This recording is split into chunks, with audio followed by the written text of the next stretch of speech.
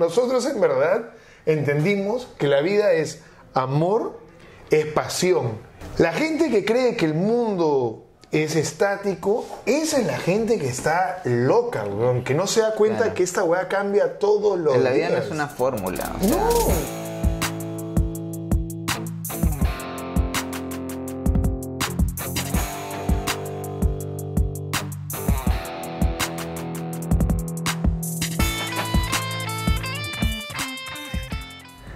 Muchos mezclan la ambición de querer más con la felicidad, ¿no? Yo voy a ser feliz cuando tenga esto, yo voy a ser feliz cuando tenga el otro.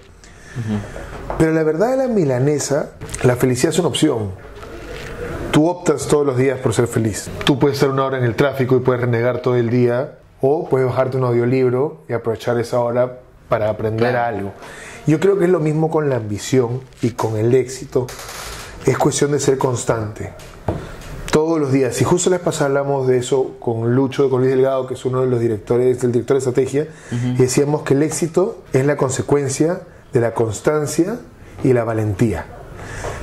Si tú todos los días tratas de ser mejor en lo que haces, mejor en lo que haces, mejor en lo que haces, lo mejor que puedes, a lo mejor, de pronto, puta, volteas y pasaron siete años Y ya sucedió. Weón, y te diste cuenta sí, claro. Y usas la frase ¿en qué momento?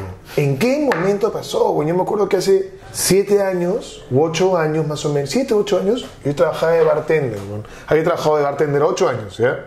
Había trabajado en Chili's, había trabajado en cruceros, había trabajado en Hanso. Para eso había estudiado arquitectura, me había cambiado de carrera, era la oveja negra de la familia, obviamente nadie da un sol, pues, o sea, nadie da un sol. Y es difícil, es difícil cuando ves a tus amigos ser súper exitosos, a la gente que estudió diseño, a la gente que estudió derecho, a la gente que estudió ingeniería. Y todo el mundo la tiene clara, weón, y dices, bueno, yo soy ingeniero, soy de la de Lima, sigo mi maestría, voy a hacer un doctorado, voy a hacer tal, enseñar en tal cosa. Bueno, la tienen clara, pero con gente como nosotros, puta, no está claro. Claro, es muy orgánico. En nuestro caso no es como, ok, tengo un MBA, entonces ya tengo cierto valor especulativo. ¿no? Pucha, tú puedes tener cualquier acreditación y no hacer O nada en ninguna. el mercado. O ninguna. Y hacer muchas y cosas. ser un genio. Claro. Y eso es lo que yo hablo mucho con la gente de, de Toulouse, y es una- muchas cosas que hablamos también en la agencia, que es, este es nuestro uniforme. O sea, la gente nos ve, la pasada en la calle, estaba poniendo con, con Coa, y yo le digo, pasaba la gente en el micro y nos veía ya. Lunes, 10 de la mañana. La gente nos veía sentados en el paradero conversando. Y yo le decía a Coba, oye, ¿tú te alucinas que toda, ese- toda esa gente se alucina que somos unos fumones? O sea, te alucinas tipo, no seas así, hijita, mira ese vagabundo que está ahí sentado. en el-". Y la gente, lo que la gente no sabe es que habíamos estado sábado chambeando, domingo chambeando, lunes, seis y media de la mañana en la agencia, porque había una idea que no podíamos no logramos cerrar, había algo que faltaba. Y eso es lo que la gente no entiende. Nosotros, este es nuestro uniforme, bueno, esa, esa es nuestra chamba, así somos. Y lo que hacen las agencias y los clientes y demás es ver el mundo a través de nuestros ojos. Ahora, ¿cómo lo enfocas? ¿Cómo cumples los objetivos? Eso es otro costal, ahí ya te hacen el publicista, ¿no? O sea, pero como creativos, como diseñadores, nos pagan por ser nosotros. Entonces, ¿cuál es la manera correcta de ser tú? Ahí es donde empieza, empieza entonces que para tú ser lo mejor que puedes hacer en creatividad y demás, tienes que perderte y encontrarte muchas veces. Sí, estar como un En tu ejercicio. Es un poco como ir al gimnasio, ¿no? Ir, maltratarte, lesionarte, recuperarte, ver qué, qué realmente puedes hacer, qué ya no vas a hacer. Bien Es complejo. que, es que lo es, si te das cuenta, y la vez pasada comentaba con los chicos, les decía, se van a dar cuenta que conforme avancen en su carrera, todo es más sensible. Uno ve, ve cosas ahorita y las interioriza de cierta manera que en verdad te golpea, o sea, y conforme hablas con gente más senior, si es que no están pegados a festivales todo el día o cosas así, y en verdad, en verdad hablas sobre creatividad y sentimientos, te das cuenta que estás mucho más, tus sentimientos están a flor de piel. Yo siempre doy un ejemplo, que es, la gente de cuentas sabe que quiere el cliente. Y si tú escuchas a alguien de cuentas, te va a decir, yo sé que el cliente no lo va a probar, yo sé que el cliente lo va a probar, ellos saben. La gente de planning, ellos creen. Yo creo que el mercado va a hacer un cambio de esta manera, creo que lo que hay que comunicar es tal cosa, yo creo que por ahí va la vida. Y ellos siempre creen que quieren hacer algo, los otros saben que es lo que quieren hacer. Checa cuántas veces al día, como creativos, decimos, yo siento, siento que hay algo hay algo que falta. Siento que no es la ruta. Claro, las decisiones no son emocionales, ¿ya? Pero hay un punto en el cual tampoco todo es racional y ahí está el desafío. Lo que pasa es que todo en la vida es una mezcla de cosas y lamentablemente tratamos de siempre estructurar la- las cosas de cierta forma. Esta es la estrategia, acá es la creatividad, acá es otra cosa. Eh, de, de tal hora a tal hora voy a hacer tal cosa, de tal hora a tal hora voy a hacer tal otra. O sea, tratamos de estructurar en un día, pero la verdad de la milanesa es que nada nunca está Sí. estructurado, nada nunca, el control no existe, no, es toda una ilusión de cosas. Y cuando uno se deja fluir, las cosas funcionan. Bueno, yo me meché, me eché con mi viejo, me eché con mi vieja, me meché con medio mundo, me cambié de carrera 50 veces, hasta que de pronto dije, ¿sabes qué? Voy a fluir con esta huevada. Y un profesor, un gran director de arte hoy en día, me dijo, ¿sabes qué? Creo que serías un excelente creativo. Y dije, ¿qué es esa huevada de ser creativo? Y tenía 26 años, ¿ok? Y ahí todo cambió. Todo cambió. Ahí simplemente... Debemos entrar ese, ese tema que es el- la importancia de un coach, de un mentor. O sea, Tienes que... ahorita sí, puedes agarrar y llevarte un curso en Creana, pero es diferente a sentarte con alguien y decirle, pucha, tengo este problema, tengo esta capacidad, tengo estas pasiones, ¿qué hago? Y eso debería ser, por ejemplo, la dirección creativa para mí es eso. Sí, O porque el director de arte es mitad profesional, mitad coach, de mentor de su equipo. O sea, o sea, es hoy- que hoy en la mañana- solo dicen me gusta, no me gusta. Hoy en la mañana tenía una reunión de 9 a 9 y media con un chico de la agencia. Y era porque el chico acaba de hacer una relación medio tóxica y necesitaba conversar con alguien. Pucha, es que, bueno, en nuestra profesión no se puede dejar el problema fuera de la puerta y, Eso y que que la- la cosa sucede igual. Bueno, yo siempre le digo eso a los chicos cuando vienen, me dicen, yo le digo, esa, eso de deja tu mochila afuera, no, no existe. No existe. No existe. Bueno, aligera tu mochila. O sea, chequea qué piedras estás Claro. llevando ahí atrás, hay piedras que no necesitas, hazla un poquito más ligera. Porque somos una consecuencia de todas nuestras emociones, acciones y demás. Es justo hablar con, de eso con unos eh, alumnos. No es que usemos Mac porque somos fancy, es porque en realidad queremos pensar menos en si funciona o no. ¿no? Y, y ya, la herramienta está ahí, punto, me puedo enfocar en lo que tengo que enfocarme. Zapateros sus zapatos. Exacto. En nuestra época era más complicado el tema de la creatividad, publicidad, diseño incluso, ¿no? porque eh, no estaba tan, por así decir, considerado como una profesión seria. Y aún hasta ahora, ¿no? O sea, hay alumnos que los ven así como que, ah, mira, salió artista, ¿no? Nuestro hijo. Pero pucha, ahora ya es otro... Pobrecito, salió artista. Ahora ya es otro contexto. Pero aún haya talento y todo el rollo, el tema es el- la ambición. Que no quiere decir egoísmo o ser No, no. codicioso, sino realmente tener claro qué quieres, ¿no? Y, y eso en realidad parte en punto de, de la ambición personal. Es diferente intentar comprar un iPhone a intentar, pucha, levantar una familia, tener un hijo, Para el colegio. pagar el colegio. La ambición natural para, cierta- para lograr ciertos objetivos, para querer cierto demás, cuando necesitas competencia, cuando quieres lograr algo. Y estoy seguro si te gusta el fútbol, empiezas a practicar fútbol, juegas fútbol todo el día, mejoras en el fútbol, aprendes de fútbol, te vas a un club, te vas a otro y de pronto dices, puta, necesito, quiero gente que me rete, necesito hacer todo lo que pueda hacer porque tu cuerpo y tu alma te lo piden. Entonces, cuando termino encontrando la creatividad, gracias a este profesor, gracias, bueno, ¿verdad? gracias a, a muchas cosas en Toulouse, la ambición simplemente se empezó a dar. O sea, tipo, oye, ¿para qué presentar A cuando en verdad deberías presentar A más B? Oye, ¿por qué llevar solo creatividad cuando podemos llevar creatividad y medios? Oye, ¿y digital, y si lo metemos. Oye, para terminar eso tenemos que hacer una activación. Y de pronto te das cuenta que quieres rodearte de gente así. Y cuando ves que hay gente así en el mercado, pero lamentablemente el mercado también a veces es duro con la gente y llega a romper algunas almas libres, porque Claro. hubo tapamos las llenas en encasillar. ¿Cuánta gente que está en publicidad solamente por los premios, no? Y todo el día es, y el trucho, y el trucho, y el trucho, y el trucho, y el trucho, tipo, brother, trabajas en creatividad, tu premio es todos los días. Para huevón. disfrutar de tu día. ¿Cómo quién chucha no disfruta de su vida? por, claro, por tener este estilo de Por vida. ser tú. Por ser te tú. pagan por ser tú. Te pagan por agarrar y decir, oye, mira, ¿sabes qué? Este celular es tal y quiero, ¿cómo lo ves tú? Quiero que el mundo vea este celular a través de tus ojos. y tú cuentas cómo es que tú ves el celular y cómo te alucinas y además si la gente lo ve y se emociona como tú te emocionas. Pero el, el meollo es que cuando tú encuentras ya lo que te gusta, empiezas a exigirte y a buscar gente que se exija de la misma manera. Y es ahí donde nosotros retrocedimos y yo empecé a enseñar en Toulouse y empecé a asesorar con Felipe porque era tipo, necesitamos más gente así. Queremos más gente que tenga pasión, o sea, que en verdad tenga ese empuje, tenga esta, esta ambición natural de las cosas. Porque si lo formamos así, desde el inicio, creo que podemos empezar a subir la vara de todo, ¿no? Y tratar también a los practicantes, no como practicantes, pero bueno, la gente que los manda a troquelar la vida, o hace el copy de tal cosa. O sea, los practicantes son los más importantes dentro de la agencia, son los que tienes, o sea, en cuánto tiempo uno tiene con ellos, todo el día estás conversando con ellos, les enseñas la vida. Y una cosa que yo no me he dado cuenta, nosotros no somos muy festivaleros, ya recién estamos festivaleando este año. Ya. Y este año hemos levantado cuatro premios locales. De los cuatro premios, tres proyectos son desarrollados por exalumnos de Toulouse. Tienen este mentorship de... Exacto. Uno de ellos es Dan.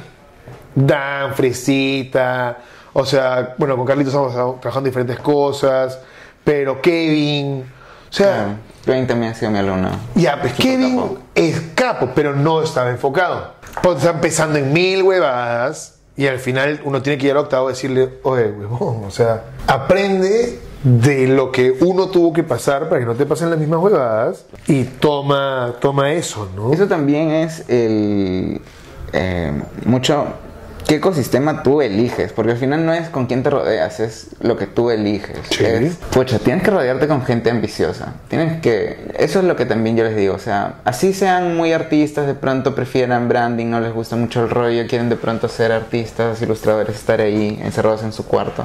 Métanse a agencias, o sea, Tú no vas a ser un director de arte, un, un senior, si alguien realmente no te valida en ese punto. O sea, no es que tú sales de carrera y te dices, ya soy director de arte porque acá el cartón dice. es, Tienes que rodearte con gente igual de ambiciosa. y de todo el mundo puedes aprender. La gente, esa cosa, para mí el problema como principal en la publicidad muchas veces es que todo el mundo piensa como publicistas. Y todos los publicistas creemos que tenemos el derecho de decirte a ti cómo consumir eso o por qué deberías consumirlo. Pero nadie se pone los zapatos del consumidor. La gente siempre es, puta, mira, el producto es así y así lo vamos a vender y esto va a ganar cans. Pero no necesariamente, puta, al final la gente ve la publicidad y dice, puta, qué buen producto, ¿no? Puta, qué bonito. O sea, algo, algo que, te, que te mueve. Y eso es algo que tenemos que pensar todos los días, pero para eso pues tienes que rodearte, como tú dices, Sí, tienes más que personas. estar rodeado en un contexto ambicioso. Y dejar de pensar que tú, esté- ti- que tú eres el amo de la verdad. Porque todos creemos que somos el amo de la verdad. Y te das cuenta que no existe una verdad, ¿no? Muchas veces, Exacto. o sea, hay varias razones por las cuales las cosas pasan. Pero recién ahí creo que, que puedes empezar a, a crear con comodidad, con confort. Y lo otro que yo siempre hablo con los chicos, y es una teoría, es una teoría súper cojuda, ¿ya? Siempre inventamos teorías cojudas para explicar huevadas. La teoría por acá, ¿ya?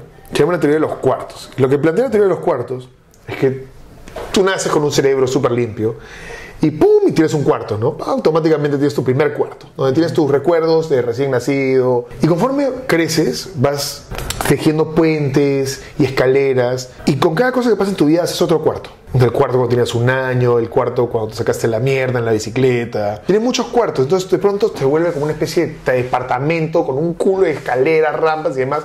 Y hay cuartos que están súper cerrados, ¿ya? Pues hay cuartos que tienen 50 cadenas, 200 candados. Hay cuartos que tú no quieres abrir. ¿no? No quieres abrir nunca. Como también hay cuartos donde dejas todas las ventanas abiertas para que para poder recordar y ver y volteas y dices, ¡ay! ¿Verdad? ¡Qué bonito! Y te acuerdas de esas cosas y tú creas con eso. Lo que nosotros, lo que yo recomiendo es romper todas esas paredes. Tira abajo todos los techos, rompe las paredes, abre las puertas. Hay cuartos que van a doler, hay cuartos que va a doler como mierda cuando lo abres. Pero de pronto, no importa dónde estés parado en tus recuerdos, vas a poder voltear y, weón, vas a acordarte qué se sentía, puta, cuando tenías tus Air Jordan y pum, pum, pum, le ponías aire, ibas corriendo y jurabas que saltabas, pues, huevón, 5 metros. Vas a recordar lo que es, puta, ver a tu mamá llorar por alguna razón, ver lo que es tu viejo, sacarse la mierda chambeando, llegar cansado a la casa y tu vieja traer ese plato de comida y luego sentir que todo tiene alguna razón por ese momento, puta, que valió la pena. Entonces te acuerdas de eso y luego creas con eso. E- Es una cosa que todos tenemos que hacer, es romper todas esas huevas. Yo siento que que la creatividad es, es eso y que, y que la ambición es empujada por estas ganas de crear. Bueno, nosotros no somos ambiciosos por plata. Bueno, No, ¿Cómo, o sea- ¿Dónde están los relojes? Pucha, no. ¿O ¿Dónde están las cadenas? Bueno, no hay. Es más, nuestra vida suele ser súper simple. Desde el auto que escogemos, las actividades, pucha, nuestros fines de semana. Huevón, son súper simples. Ahora, lamentablemente, tenemos una sociedad que te quiere estructurar la vida. ¿no? Si Claro. tú no eres abogado, o sea, por ejemplo, Ya hay expectativas, preconceptos. si eres doctor y tú me dices, "Oye, ¿sabes qué, Andrés? Bueno, tengo que operarte y tengo que cortarte acá, el corte va a ser de ese tamaño y bueno, va a durar 12 horas la operación. Claro que sí, doctor. Si tú diseñas algo, ah, no, pues. Oye, ¿por qué ese tamaño? ¿Y cuánto va tanto? Como que acaso yo le digo al doctor, oye, doc, mire, no me corte acá, ¿ya? Córteme acá y no quiero, puta, muy grande el corte, córteme así, ¿ya? Y no me haga el corte en 12 horas, pues, doc. Me lo puede hacer en 15 minutos porque tengo que ir a hacer cosas. No me puedo recuperar en un mes, tengo que recuperarme mañana. No, pero no, no le dices eso al doctor, no le dices al ingeniero las cosas tampoco. Pero todo el mundo entra a opinar sobre diseño y creatividad. Y está bien, nadie es dueño de la creatividad, pero hay que entender que para crear cosas buenas, crear cosas que tengan corazón, hay un tiempo, hay una conexión con uno mismo, hay una conversación. La gente, ¿tú crees que mi hijo, le- mi hijo, la primera vez que le dijeron en el nido qué es lo que hacía su papá, le decían, ¿qué es lo que hace tu papá? Mi papá conversa y toma cerveza. Porque cuando yo estaba pimponeando con la gente de la agencia de mi Claro. departamento, estaba pimponeando, pues, tomando cerveza. Entonces venía el chava y decía, papi, puta, ¿podemos jugar? Chavita, estoy trabajando. Claro. Cualquier persona que ve eso somos una sarta de fumones, borrachos, que no sabemos qué chucha estamos haciendo y huellamos por la vida. Pero lo que no se dan cuenta es que ese es nuestro trabajo. Nuestro proceso creativo demanda que lo integremos a nuestra a nuestro 100% de vida. O sea, no es como que ya, de 8 a 5 y a las 5 te vas y fresco, no haces otra vida. No, o sea, es lo sigues incubando, el fin de semana estás con tu hijo, pero sigues pensando en cuanto a eso. Pero nunca que- deja de pensar. No, la cultura es un poco relajada porque en realidad sabemos que nos vamos a llevar trabajo a la casa. Ahora, lo que sí, y ya viendo la parte profesional del tema, es que sí es bueno también incomodar a la creatividad, ¿no? O sea, hay que, hay que estar conectado con eso. Desafiarte a ti mismo es como ir al gimnasio. Es que lo que pasa es que tienes que, si no, hay Sí. que viene la competencia. Sí. Y viene la, la ambición, es las ganas de. Ahora, Claro. yo quiero ser el fisicoculturista más grande del mundo. Perfecto. Ya pensaba, bueno, no va a pasar de buenas a primeras. O sea, constancia, Mm, valentía, constancia. Todos los putos días. Como cualquier tierra, o sea, no puedes agarrar e intentar que dé frutos todo el año, o sea, es difícil, eh, eh, sobre todo el tema de en agencia, porque un día puedes vender caramelos y el siguiente vende Saudis y luego es algo ¿no? social y después estás que lidias con la enfermedad y, pucha, es muy intenso. Y un día tienes un día malo donde simplemente no tienes ganas, pues, no, Claro. no tienes ganas, igual tienes que producir. Igual tienes que, claro. Donde yo me acuerdo, yo me tatúo con Chimpa, ¿ya? Aparte de ser muy amigo, tenemos mucho cariño eh, a toda la gente del estudio.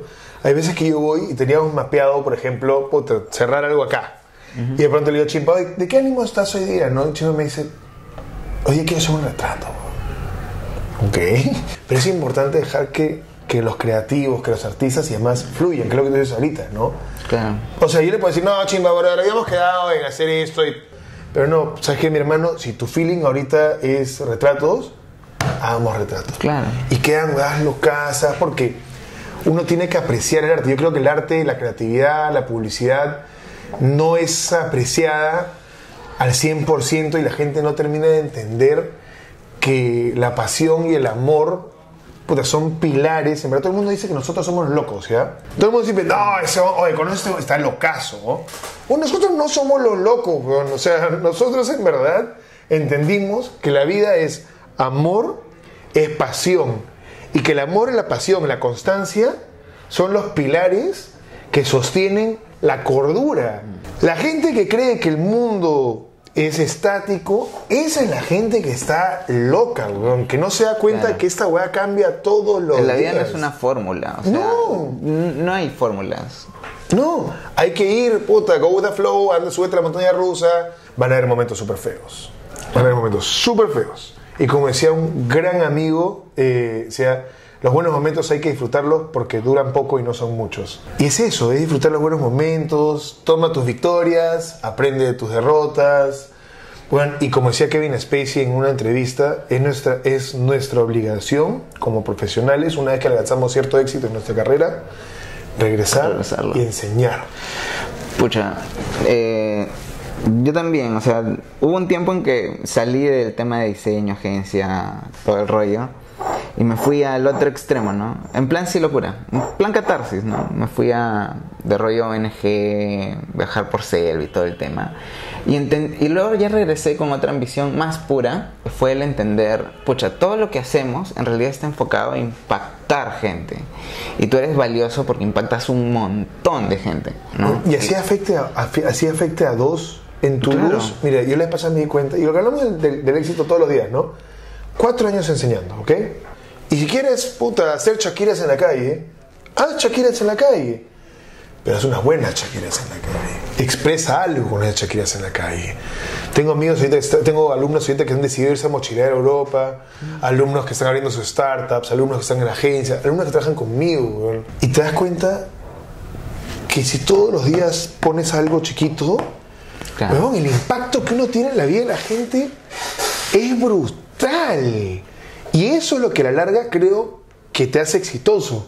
No es la plata, no, no son los carros, ni la oficina. El No, éxito, el es- éxito es solo un efecto rebote, es solo tú das y la vida te lo agradece de cierta forma. O sea, yo sí, dentro de todo ese tiempo he considerado, hay cosas que uno sí dice, pucha, eso no es justo que te pase, pero cuando yo es sobre todos, fin, ¿no?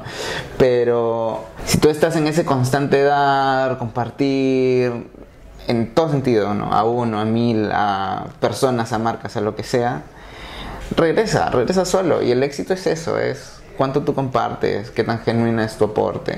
Hace tiempo me fui a Chile a trabajar unas cosas, a aprender unas cosas en Brother, ¿ya? Ya. Ya la agencia tenía, ya estaba de cierto tamaño, pero yo no sabía si lo que estaba enseñando estaba bien o no. Es bueno cuestionarse. Claro. Y dije, ¿sabes qué? Voy a meter un curso de storytelling en Chile. Me fui a Brother. Seleccioné lo que sabía, no necesariamente aprendí la cosa, no, no aprendí la fórmula de la locura, ya más o menos era lo que teníamos, pero una persona me enseñó y me dijo, ¿por qué estás, por qué estás acá? No?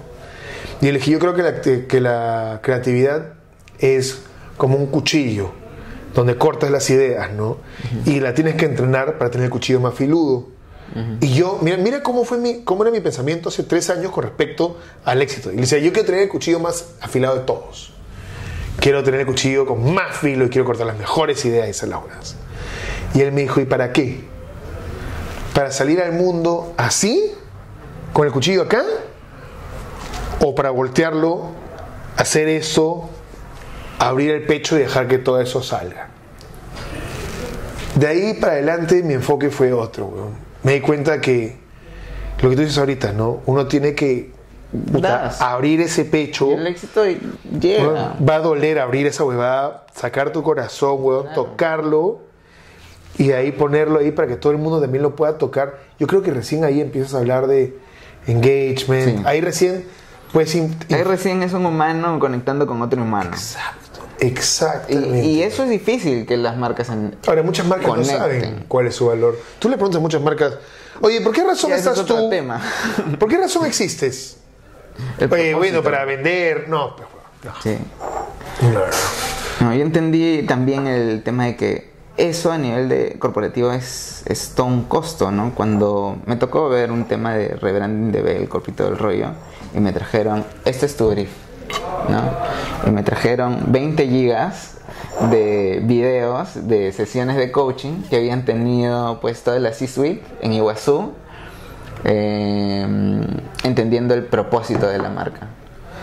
Jodido, por favor. Sí, o sea, ¿por qué existe? ¿Por qué hemos creado todo este monstruo, toda esta infraestructura? ¿Para qué? No es para hacer dinero. ¿Qué es el- el- realmente el, el trascendental de que existamos. Que, que va a ser antes y después de nosotros. Es que la gente se pierde en el camino. pues. De pronto voltearon, como decimos. Es como el objetivo del día, hoy día hay que hacer tal, y ahí te desorientas y te olvidas de por qué estás haciendo esto, ¿no? Bueno, yo le pasaba. Ahí yo veo un canal de YouTube ya que se llama Lumiere Reviews. Tuve el, Ya. el honor de ser invitado por Koba. Sí, he visto... Entonces yo edito el canal y produzco el canal. ya, y Koba hace los guiones y él ve. Capo. Es más, creo que lo conozco. Bueno, ahí está, está ahí guardado. Exacto, el sueño mañana. Sí. Entonces, Koba me invitó a ser parte de ese proyecto con él. Y la vez pasada, puta, y obviamente editar, pues la huevada me toma el domingo, me toma el sábado, me toma viernes en la noche. Y es como que digo, puta madre, entre tu luz, mi hijo, la agencia, todas las huevadas, puta, ¿en qué puto momento tengo tiempo yo? Y dije, puta, ¿para qué yo me he metido a Lumière, weón? Dije, puta madre, o sea, estoy acá editando todo el puto domingo. Y de pronto, puta, terminé de editar el video, lo subí. Tenía 3.000 vistas, 4.000 vistas. Pero habían comentarios como, puta, que cae de risa. Buenas y tripio, le escribían a Coba. Puta, weón, me hiciste el domingo. Y mis amigos, puta, uno me escribía me decía, ay, me he cagado de risa. Y ahí me di cuenta el por qué lo hacía, que es lo que tú planteas ahorita con la de Belcorp, ¿no? Y en un punto donde las cosas crecen tanto, donde dices, huevón, ¿qué chucha hacían esto, no? Y yo pasó tanto tiempo y dije, puta, qué chucha hago metiéndole el fin de semana. Y me di cuenta que me gusta hacer a la gente reír. Me di cuenta que con Coba podemos crear algo, o sea, yo soy los ojos, Coba es toda la redacción, todo el alma, yo soy todo lo que lo envuelve, y juntos hacemos algo que hace que la gente se ría, y que la gente aprenda sobre cine y se cae de risa y la pase bien. Y no todos tienen que tener plata atrás de eso. Claro. O sea, simplemente es, es cuestión de encontrar tu locura, que creo que es súper importante en un mundo como el que tenemos nosotros, donde nos pagan por ideas, ¿no? De pronto pones un día, te levantas y dices, ¿por qué chucha que creaba? O sea, ¿por qué es que, por qué es que me pasé esta huevada? Y si tu respuesta es por la plata, puta, cagaste. Ahí cagaste. Si es por la plata, bueno, después viene el motor, no hay que pagar el cole que se los huevadas. Sí, o sea, el dinero es una de las tantas cosas que recibes. Es una consecuencia. Sí, es una forma en que recibes agradecimiento, pero pucha, lo haces para conocer gente, para ganar experiencia. Tienes que hacerlo, porque hay algo dentro tuyo que te dice. Necesitas dar, sí. Necesito votar esta En huevada. algún punto ya te angustia ya, o sea, si no lo haces, ya te desesperas. Dime si cuando estás de vacaciones no estás creando. En todo momento creas. Bueno, yo cuando. No sé, voy a un restaurante y veo, ponte hummus, ¿ya? Me pasa hummus, está, está viendo hummus y dice, hummus, ¿cómo será el hummus? Con los garbanzos, ah, con el procesador. Ah, oye, si le metemos un poquito como que de ají amarillo, uy, le metemos sésamo arriba. Claro. Y de pronto dices, puta, hacemos hummus. Y lo reinventaste el hummus. Cualquier persona que lo usa hummus te va a mandar a la mierda. Pero estás creando. Sí. Porque tienes que hacerlo. Porque hay algo dentro tuyo que te grita, brother, hazlo. Porque simplemente es la forma natural en la cual uno es. O sea, uno se, se expresa. Sí, claro. Qué locura, ¿no? La creatividad. Y como una vez me dijo, tuve la oportunidad de trabajar con Jack Segelavia, que fue fundador de Oro de RCCG. Ya. Y trabajamos unas huevas afuera. Y él en un momento agarró y dijo, y creo que lo dijo en la agencia, dijo, lo que tú le das a la publicidad, a la creatividad, si tú en verdad le das todo lo que tienes a la creatividad, te lo va a devolver por tres. Que te lo devuelva en experiencias, en sonrisa, en dinero, en oficinas, en carros, en amistad. Ya verá cada uno qué es lo que sabe apreciar, ¿no? Exacto. Pero uno siempre tiene que dar todo. Y es lo que hablamos con los alumnos. El Perú no tiene más espacio para gente mediocre.